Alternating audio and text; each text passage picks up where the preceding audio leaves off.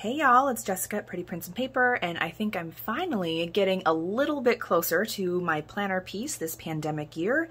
Knowing that we've all been kind of recalibrating our systems, finding out what works for us. I am now working a lot at home, and so a lot of my systems have evolved to adapt to that and getting to a point where I'm really working on some goals and taking some steps forward. So I'm going to show you my next iteration of what I am currently doing.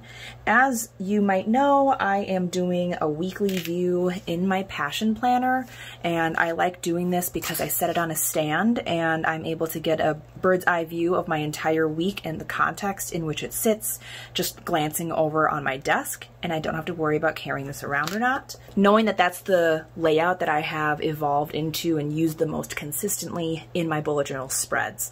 In my everyday, I'm using this cover from Goldmine and Coco. Felicia is a dear friend of mine and she's amazing, and I'm happy to support her by purchasing this beautiful cover where I took the rings out so I could put my Archer and Olive bullet journal.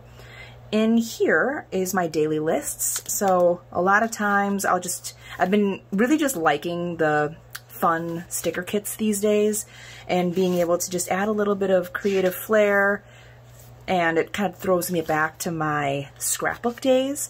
So a lot of these are for just my daily list and nothing really beats the ability to just turn the page and make something that I need. So whether it's just one long list for a Saturday or it's a project list being able to have the flexibility to change that on a dime is and take up as much space as I need is still really important to me. Here these days I am trying to track some things in my daily and on the left hand side of the dailies you're going to see a time chart and that's where I kind of track not my to do meetings or anything like that, but the, the things that I'm feeling, the things that I'm kind of eating. I'm trying to see what my energy is, where I'm feeling productive. So if I'm feeling particularly demotivated or very, very in flow, I try to note that in here so I can kind of get a sense of my rhythm and my cycles, which has been really, really helpful as I navigate working from home. This is like the self-care sticker book from Goldmine and Coco, which just was a super fun, matchy way to do the week's lists. So anyway, those are just like my ongoing to-do lists and I kind of burn through pages that way and I don't want to keep redoing the more enduring lists. So I have this planner cover from Cloth and Paper and inside I have a half letter disc bound journal where I still bullet journal and I still have some inserts in here. But the point of this is kind of like my home base where I have enduring lists that I want to keep track of over a longer period of time and don't want to keep rewriting them as I transition from notebook to notebook. Um, in the front, I have this Today dashboard from Cloth and Paper, and this is where, of course, I still live the sticky note life, and I can put some things down where, oh, it occurs to me, stick it on here so I can process it at a later time. I've got a master to-do list for bigger projects that I want to get to, but it's not like right in front of me. This week I have to complete it. And uh, some of the bigger things that I tend to do is I, I regift or I sell things as I purge through the things in my house, my apartment, so then I can keep track of some of those things. I can do it all at once so I can batch that task together. And then I've got these dividers that I have printed white text labels on with my label maker. And this first section is for goals. And uh, there's some different inserts in here, but for me to like just write down like this is an anchoring vision of my life going forward, what makes up a good life for me, and just breaking that down into how it feels, the kinds of activities that I'm doing, and this is something that I just don't want to rewrite over and over, so that's why that lives in here. Tracking some habits, I have to go back and I'm gonna add the name of the habit and then color in the dots of the days that I did it. Uh, that's what's really great about that um, daily tracker in my bullet journal, then I can go back and see if there's any patterns or how I'm doing with those particular habits and see which ones I need to recommit to or leave behind. These are stamps that I um, used from, I think, Everyday Explorers Co. I'll tag it in the bottom. And some inserts for, from Cloth and Paper about a five-year plan, This one is just for work, and not because I'm going to use this for work, but just because I wanted to write down what my workflow was as reference.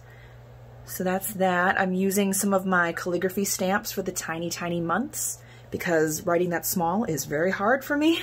And then using some colors from the Passion Planner markers set. Next tab is my maintenance tab. And here's, of course, the list of lists that I want to make. So this is where I'm going to be putting things like car care, the schedule of, you know, services I need to do for an automobile, uh, the plant care for the plants I do have. I have air, air plants, orchids, and things like that. And they all take a little bit of different care schedules and seasonal cleaning schedules. So I'll show you an example of my like cleaning breakdown and trying to batch like every day I'm doing two or three little tidying things. The things I want to do monthly and then things I want to do every six months. And I broke this down and then transferred it to some task cards that I carry with me in my everyday carry so I don't have to keep looking at this. But I do want it just as a long-standing list. I don't have to copy. Um, in the back here is this beautiful black insert or dashboard from cloth and paper. I wish you could feel this. It feels like velvet and it's super thick. That goes in there. Um, I was doing some alcohol ink on some dividers that I had on the plastic surface because anything that's non-porous you can do that on. So that was really fun. This is my wellness section where again I'm focusing on some goals for myself mostly around having energy and maintaining strength. And I want my, my body not to necessarily look a certain way or to weigh a certain amount, but more so I want to be able to do things with my body. And that's my focus. And then taking some notes about going paleo and keeping these and these recipes. So keeping that in this section as I continue on that journey. And then I have my finances section, and I'm not probably going to show you all the pages here, but just breaking down some of my recurring costs, my finances, my sinking funds. Those are the things that I'm trying to save up for over time. So I know that I'm going to be in a couple weddings in a couple years and breaking that down over the next couple months to make sure that I'm on track. So I'm not hit in the face with those costs all at once. trying to break down how much I should estimate to give as gifts. This is where I take notes on some of my financial stuff. I am looking into all the details about how to buy a home and seeing if that's something that I want to do. This is going to be a long process for me because it's very like tied with some emotional and mental things that I, I just don't automatically assume that I should buy a house. So this is going to be a really cool kind of research and exploration process. Okay, so there's a lot of things in here. I took like a financial wellness and like racial justice course, so I took notes in there. Yada, yada, yada. Wish list tracker. And then in the back, I have other lists. So here's where I'm going to put things like gifts and um, longer standing things that I don't want to copy over. Okay? Anyway, that is all what's in here and I am really liking this so far. I know that it seems like a lot of different structures, but I don't need to reference this all the time when I'm out and about, and uh, I burn through so many other pages doing the daily list that I just wanted to be able to separate these out. This one can stay at home, and then I can kind of keep this uh, in whatever order I want with the discs, and uh, take out the pages when they're no longer relevant, but otherwise be able to keep it longer term. So that's kind of my system for now, and I'm really enjoying it. Of course, I'm still using a Google Calendar for my work events, but being able to reference that and then build a plan based on that has been really, really helpful.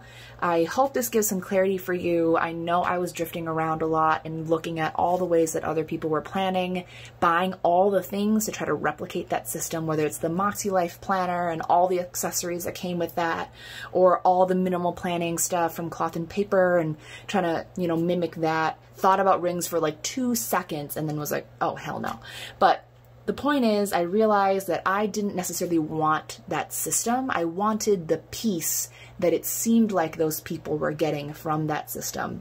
And frankly, the obvious answer is that money can't buy that, and we all have to just experiment and really think about what our needs are and what system will match that and, and deliver that result for us. And these tools are just tools, and buying them does not automatically mean that they will work because we have to put in the work. So after several months of kind of drifting, this is the system I'm leaning toward, and uh, I'm really liking it so far. I'll keep you updated and see what happens. But if you have any questions, let me know down below. It was a really quick run through, so if there's anything you want more questions or explanations about, just let, leave a comment. If you like it, please uh, give it a thumbs up, subscribe. Otherwise, I just hope that you enjoy it. I'll see you next time. Bye.